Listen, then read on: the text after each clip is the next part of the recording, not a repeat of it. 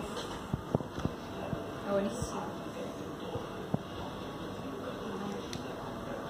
Ahí es.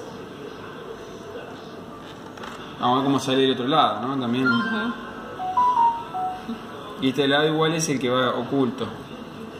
Lo que importa es cómo se derramó en, en la parte de abajo que está contra el molde. Y eso te la da como lo preparaste ahí. La mano de la, de la preparación en el vasito de, Claro.